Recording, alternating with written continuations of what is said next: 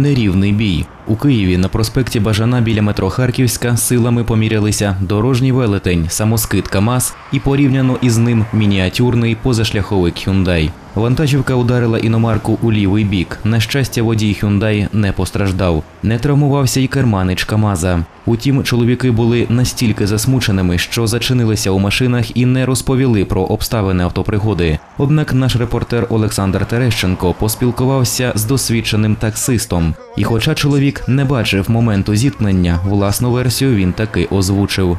Более виноват, я думаю, това- товарищ на КАМАЗе. Во-первых, он со второго ряда начал выезжать. Что запрещено? Да. Так.